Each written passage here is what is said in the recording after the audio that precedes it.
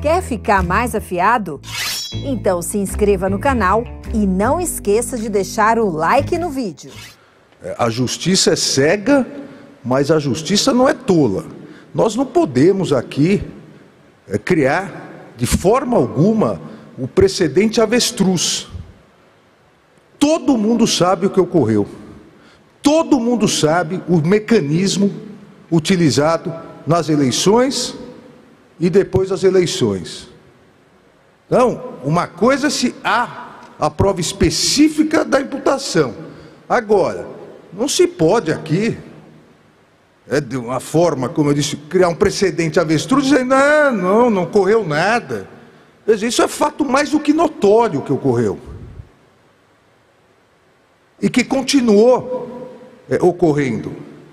Isso foi exposto é, de forma é, detalhada jornalisticamente pela jornalista Patrícia Campos Melo, depois até o livro A Máquina é, do Ódio, e por causa disso foi perseguida pelas mesmas milícias digitais, é, que são covardes presencialmente, muito corajosos virtualmente atrás de um computador, foi perseguida, foi ofendida,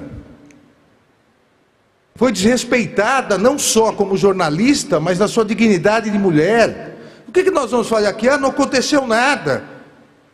Não houve disparo em massas? Houve disparo em massas.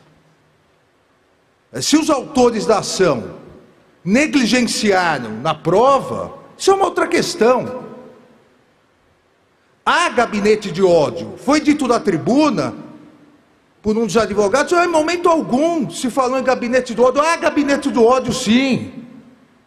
E essa alcunha não foi dada nos inquéritos, não foi dada por opositores políticos, foi um ministro de Estado.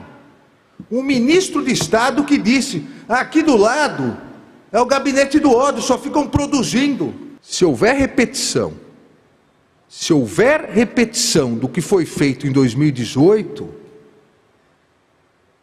o registro será cassado.